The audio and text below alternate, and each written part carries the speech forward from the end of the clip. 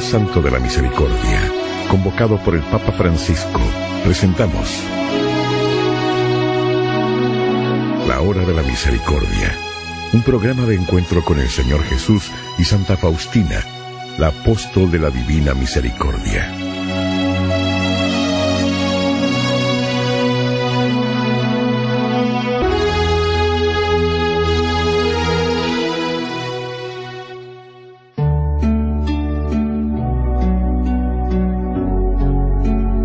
Las tres de la tarde es la hora de la gran misericordia para el mundo entero. En sus revelaciones a Sor Faustina, Jesús pidió que cada día, a las tres de la tarde, se recuerde su muerte en la cruz.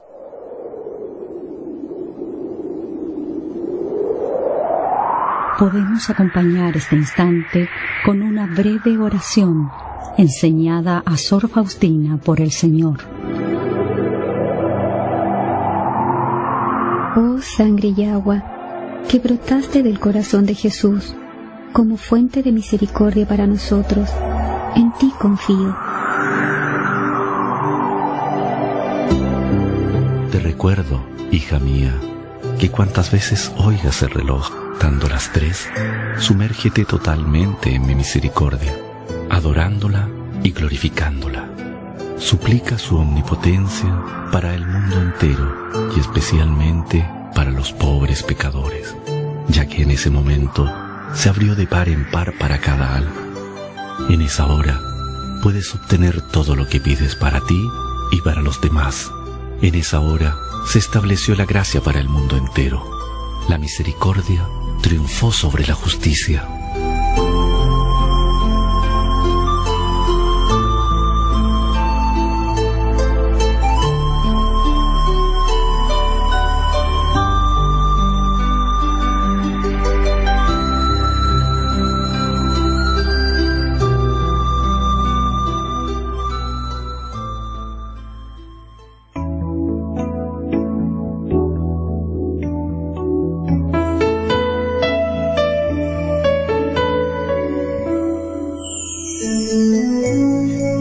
Bienvenidos una vez más a la hora de la misericordia.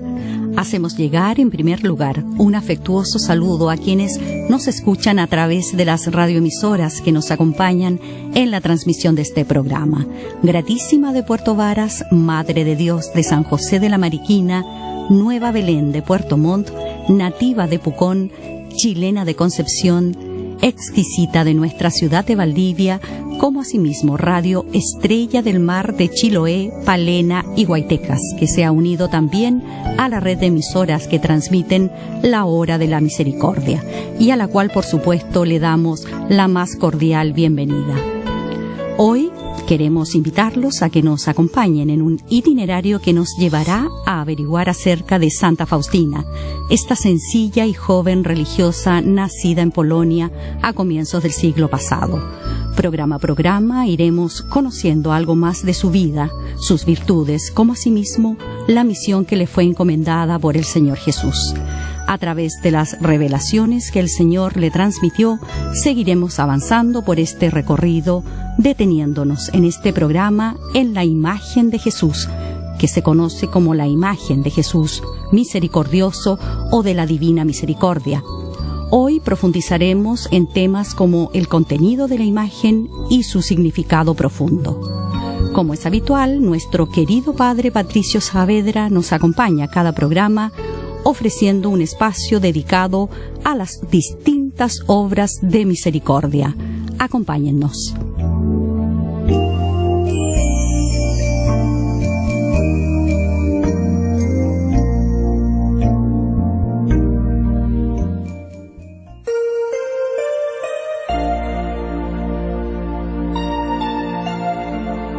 Santa María Faustina Kowalska conocida actualmente en el mundo entero como la apóstol de la Divina Misericordia.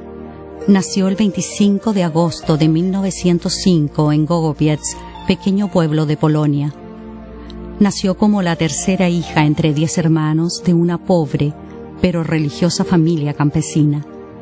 Al segundo día de su nacimiento fue bautizada con el nombre de Elena. Elenita Kowalska Es una niña inteligente, muy aplicada en sus estudios, aunque solo puede asistir a la escuela básica menos de tres años a causa de la necesidad de ayudar a su madre en los trabajos de la casa.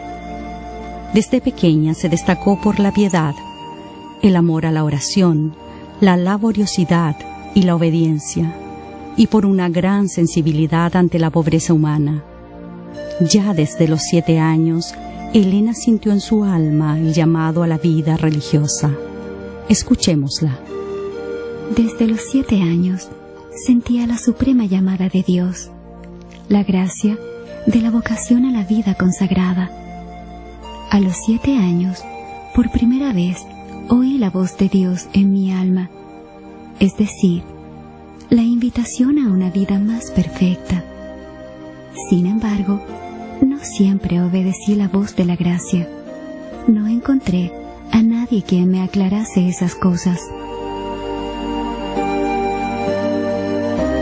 A los nueve años, hace su primera comunión. La recepción de la Eucaristía es una nueva fuente de energía para el desarrollo de su vida sobrenatural. Siguiendo las costumbres de aquel tiempo, la pequeña Elena se dirige todos los sábados a la iglesia para bañar su alma con las gracias que surgen del sacramento de la confesión. Todos los domingos su espíritu se fortalece con el cuerpo de Cristo. La permanente oración une su alma con Dios. En las memorias de su familia se lee de este periodo de su vida. La niña despertaba muy a menudo en la noche y se hundía en profunda oración su madre preocupada por este hecho, ya que muchas veces tenía que pasar la noche en vela cuidando a sus hijos menores, le llamaba la atención. Te vas a volver loca si en lugar de dormir pasas en vigilia. No, mamita, no me pasará nada. Probablemente me despierta el ángel para que rece.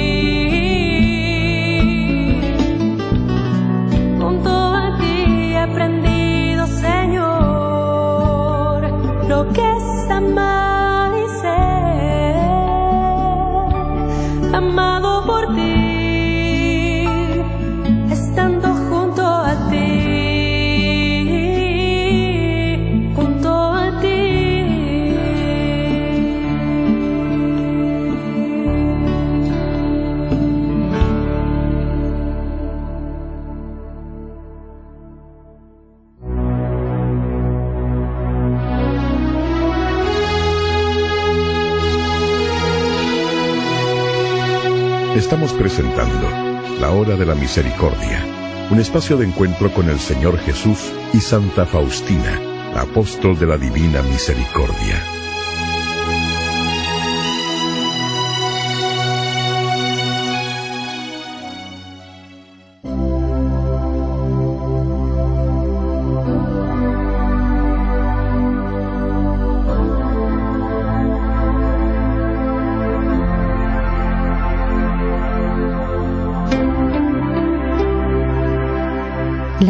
De Jesús misericordioso, que también se conoce como la imagen de la Divina Misericordia, es extraordinaria, no solo por haberse propagado en el mundo en forma tan vertiginosa en el transcurso de 80 años, sino sobre todo porque es la única imagen con la que cuenta la humanidad en que el mismo Señor Jesús quiso y pidió expresamente que se le retratase. Oh amor eterno, mandas pintar tu santa imagen y nos revelas la fuente inconcebible de la misericordia. Bendices a quien se acerca a tus rayos y el alma negra se convierte en nieve. El esbozo de la imagen de Jesús misericordioso le fue revelado a Sor Faustina en la visión que tuvo del Señor el 22 de febrero de 1931 en Płock, Polonia.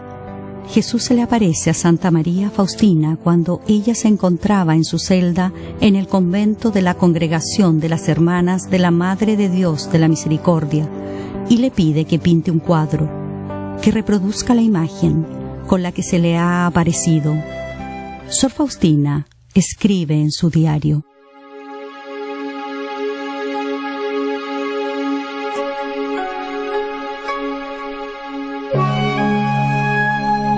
Al anochecer, estando en mi celda, vi al Señor Jesús vestido con una túnica blanca.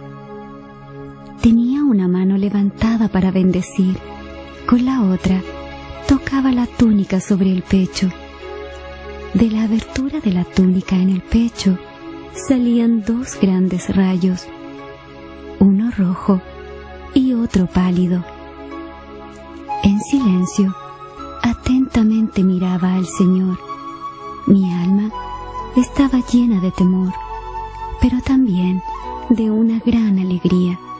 Después de un momento, Jesús me dijo, Pinta una imagen según el modelo que ves y firma, Jesús, en ti confío. Deseo que esta imagen sea venerada primero en vuestra capilla y luego en el mundo entero.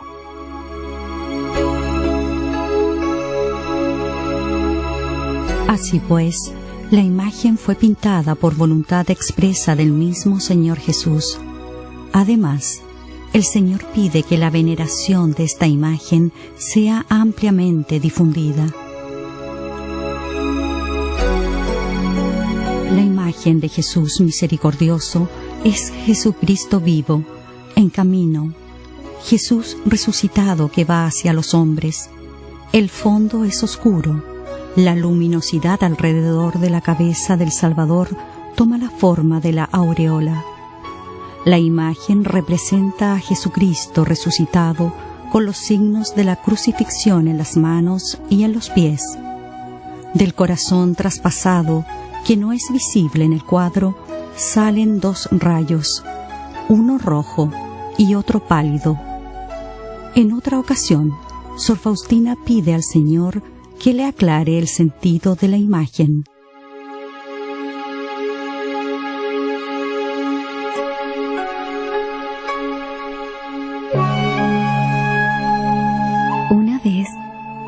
Confesor me mandó preguntar al Señor por el significado de los dos rayos que están en esta imagen, contesté que sí, que se lo preguntaría al Señor. Durante la oración oí interiormente estas palabras. Los dos rayos significan la sangre y el agua. El rayo pálido simboliza el agua que justifica a las almas. El rayo rojo simboliza la sangre que es la vida de las almas. Ambos rayos brotaron de las entrañas más profundas de mi misericordia, cuando mi corazón agonizante fue abierto en la cruz por la lanza. Estos rayos protegen a las almas de la indignación de mi Padre. Deseo que el primer domingo después de Pascua de Resurrección sea la fiesta de la misericordia.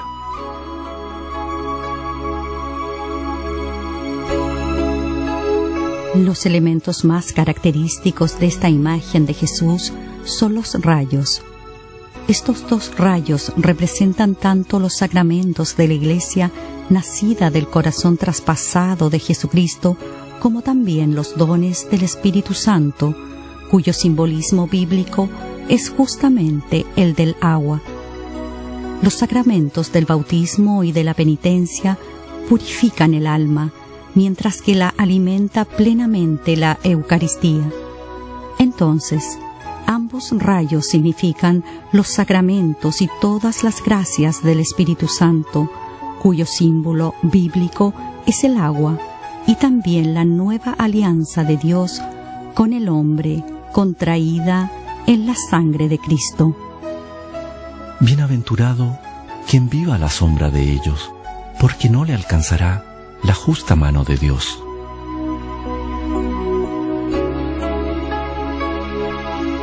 Con respecto al contenido de la imagen, ella se relaciona muy estrechamente con la liturgia de ese domingo.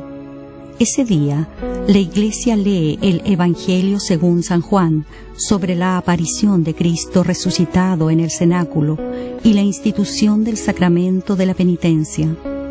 Así pues, la imagen presenta al Salvador resucitado que trae la paz a la humanidad por medio del perdón de los pecados a precio de su pasión y muerte en la cruz.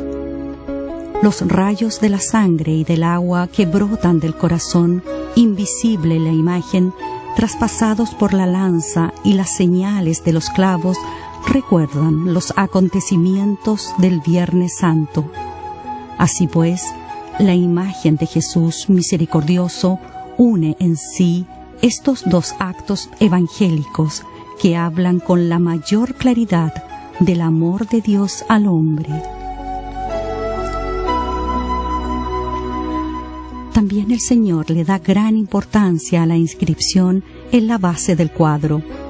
Uno de los dos elementos esenciales de la imagen y que está íntimamente relacionado con lo que transmite la imagen son las palabras Jesús, en ti confío, que el Señor pidió que se escribieran en la parte inferior del cuadro. Dice el Señor a Santa Faustina, Pinta una imagen según el modelo que ves y firma, Jesús, en ti confío. El confesor de Sor Faustina, el padre Miguel Sopochko, que fue quien se ocupó de hacer pintar el primer cuadro de la imagen en 1934, le preguntó si debajo de la imagen de Jesús podían escribirse otras palabras, pero el Señor le contestó lo mismo que le había dicho anteriormente.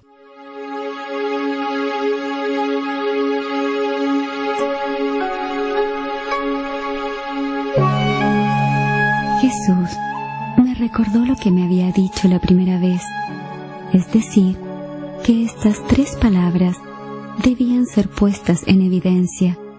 Las palabras son estas, Jesús, en ti confío. Entendí que Jesús deseaba que fuera colocada esa frase, pero además de estas palabras, no daba otras órdenes precisas.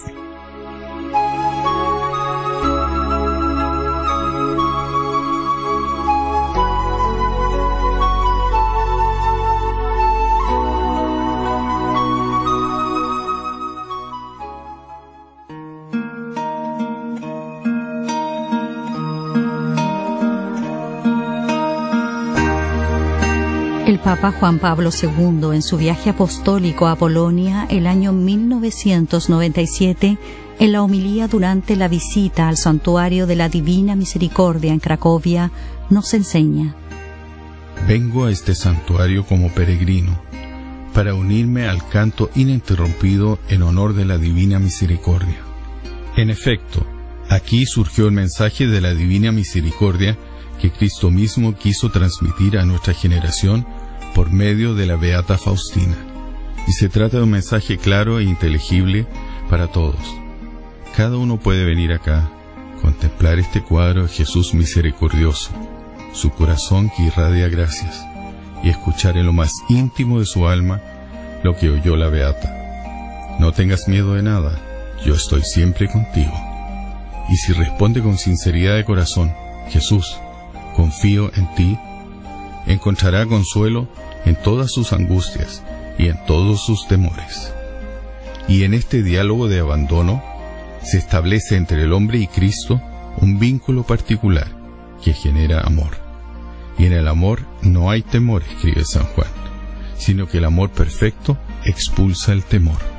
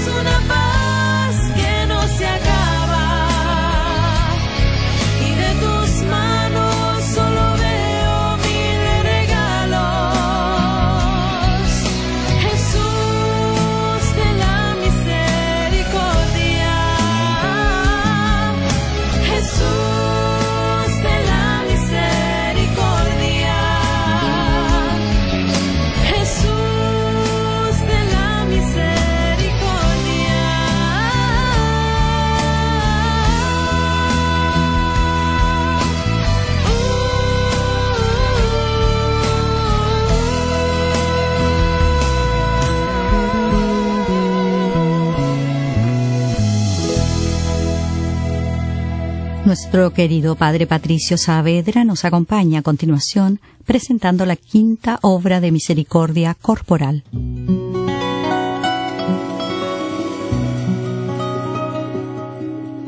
Visitar a los privados de libertad.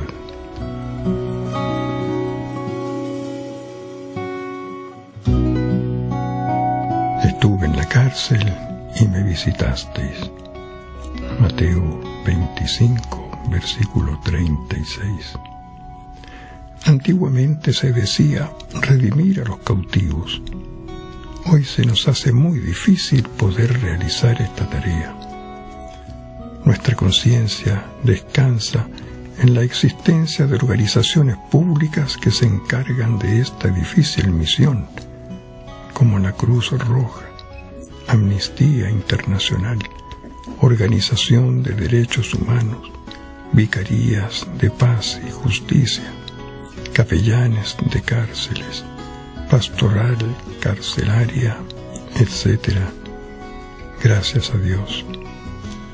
Pero toda esta gran ayuda hacia los presos no nos dispensan de al menos visitar, consolar, llevar la palabra de Dios a las personas privadas de libertad en las cárceles. Pero no solamente existen cautivos en las cárceles a quienes podemos liberar. Los hay muchos deambulando por las calles y plazas, conocidos o desconocidos, que sufren como cautivos en sus vidas.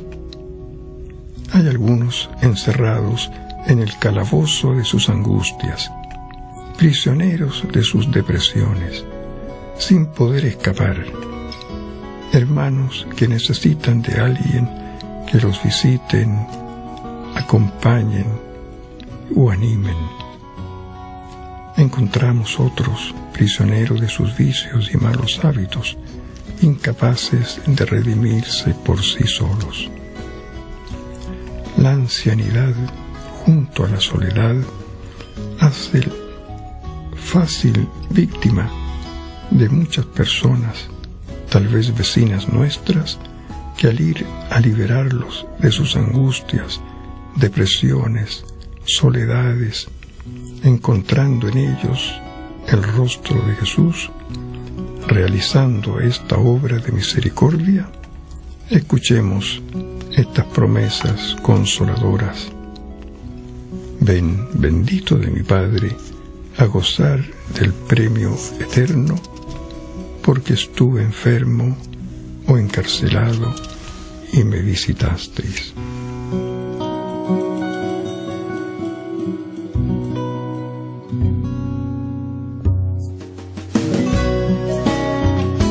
De esta forma estamos finalizando el programa del día de hoy. Antes de despedirnos, queremos animar a nuestros auditores para que cada vez que contemplen la imagen de Jesús misericordioso o de la Divina Misericordia, ya sea en un cuadro o en una estampita, recuerden que el Señor está vivo y que no se cansa jamás de perdonarnos. Permanezcamos atentos a su mirada y a sus palabras, que a través de su imagen nos invita a confiar plenamente en Él. Este programa llega a ustedes a través de las señales de frecuencia modulada de las siguientes radioemisoras. Exquisita 93.1 de Valdivia, Gratísima 97.7 de Puerto Varas, Madre de Dios 96.1 de San José de la Mariquina, Nueva Belén 92.3 de Puerto Montt, Nativa 98.5 de Pucón, Estrella del Mar de Chiloé, Palena y Guaitecas, como asimismo de Radio Chilena 103 AM de la ciudad de Concepción. Muchísimas gracias por su atención.